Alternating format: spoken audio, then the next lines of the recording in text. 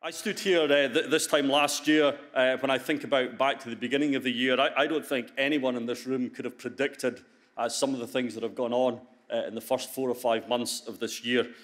The uh, rebellion, uh, Extinction Rebellion demonstrations, the school strikes, all of these children all around the UK, all around the world, standing up and saying our voice needs to be heard. The documentary from David Attenborough, uh, and then followed by the Climate Change Committee's report. Um, and now also a, a plethora of political parties almost falling over themselves to claim or to say that there's a climate emergency.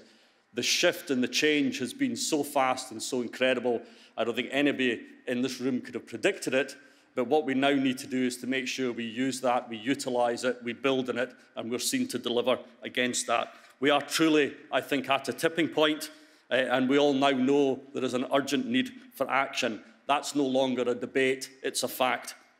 And it's quite clear now that the people right across the whole of this country want us to start dealing with this, to start sorting it, and to help them create a better future. I think all the recent polling shows again that I think in the last poll back in March or April, 80% of the public are concerned about climate change, and that's continuing to grow and grow. The Climate Change Committee report published couldn't be clearer in terms of its recommendations that the UK has to be net carbon zero by 2050, and obviously Scotland has been set a slightly more ambitious target. And to meet that target, What's also quite clear is that the renewable energy capacity across this country has to quadruple in that time period. And in fact, the whole of the electricity generation system has to double to be able to deliver this future we need. I think in the, in the Climate Change Committee report, I thought the best, the most powerful, the clearest line in the entire document and in the summary of the document was the one that said, you know, we have all of the technology to allow us to do this now. There is no need for us to wait. We're not looking for a new invention. We're not looking for somebody to come up with a new idea. We can do it all now. There is absolutely nothing to stop us from taking this action. And I think that is incredibly important. This isn't about us going backwards. This is about us going forwards and this is about us creating a better world, a better country, a better energy system, and a better life for everybody in this country as well. And the prize to me is very, very clear. The prize is the future of the planet. It's about clean air. It's about healthier lives. And it's also about delivering a, a world leading all electric economy and an all electric future that we can all be proud of. We have shut down all of the coal plant in Scotland. We have built the UK's biggest onshore wind farm in Scotland. This is already happening. We just need to do it faster. I think offshore wind has been a, you know, a huge success and will continue to be a huge success. But it's time to get real about the future. It's time to now talk about how do we do it, when do we do it, how do we deliver this, and how do we meet the challenge. And we need to have some honest conversations in doing that honest conversations about the future of wind farms in this country, honest conversations about the future of renewables, about the future of electric vehicles, about the future of the heating system, and about the investment that's required to go into the grid to allow it to deliver all of that. I'm quite clear about the role I want Scottish Power to play in that future.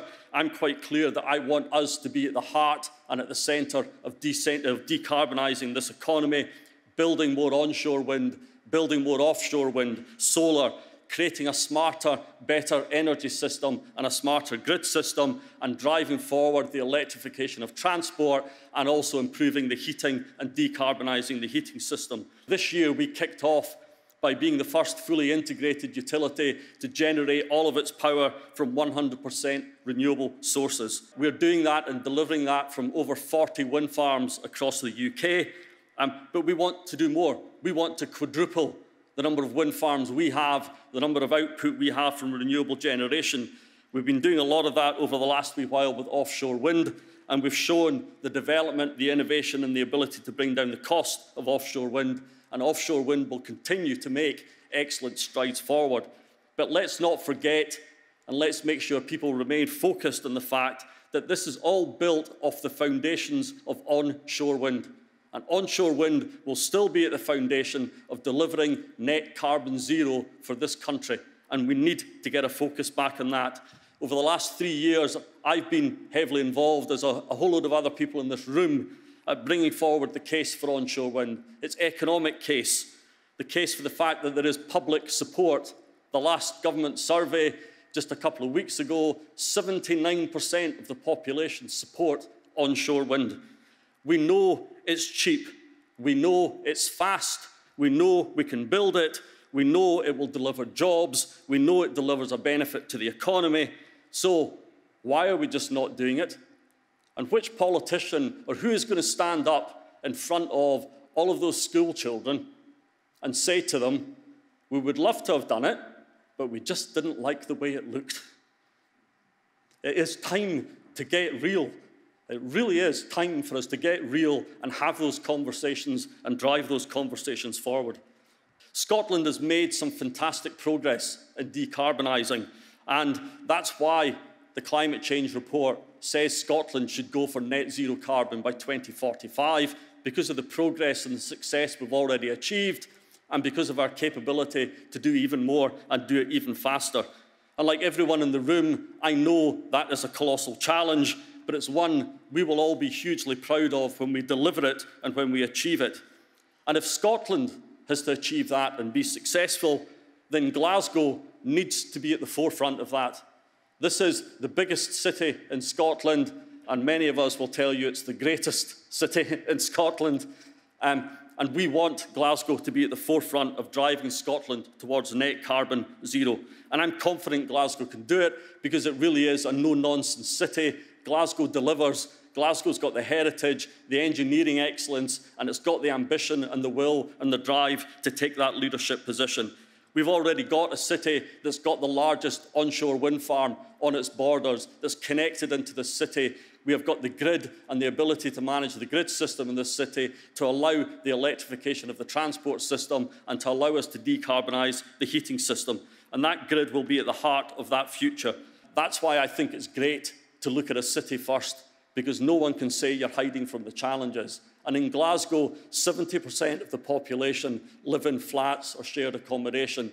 They don't have street side car parking, they don't have driveways, they don't have the ability to have their own personal private electric car charger.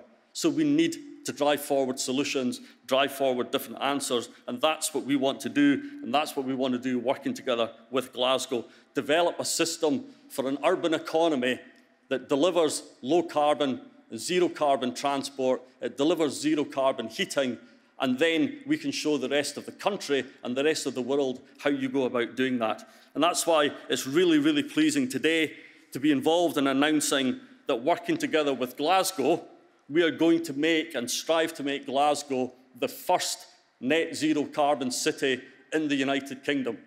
Now, I know my friends in Edinburgh yesterday made some announcements, and they're very ambitious as well, and that's fantastic. I lived in Edinburgh, I love Edinburgh, but this is Glasgow, and we're going to be first, and we're going to be better, and we're going to lead, lead that race. And that's what we want to create. We want to create the mentality of a competition, the mentality of a race, and this is the race to zero. And race to zero is not a bad thing. This is a race to zero, which is a fantastic prize because everyone wins out of the race to zero. Whether you're a member of the public, whether you're a company, whether you're a city, the entire economy wins out of this race to zero. And that's the message we need to get across to people. So, what's our big ask going forward? And what is it I want to see? I think, and I think everybody thinks, we're now beyond the tipping point. We have that momentum People in this country are quite clear. They just want us to get on and go and deliver this. The climate change report has given us an incredibly clear target of what we need to do and when we need to do it. So, what we now need from the government and from Westminster is the white paper that shows us the route map and the framework to delivering net carbon zero. Because the 2020s we need to be delivering all of this. We can't still be sitting here debating it and talking about it. We can't wait. We need to start now. So, my final closing message, and the thing I want everybody to keep talking about is let's get real. Let's just go and do it. Thank you.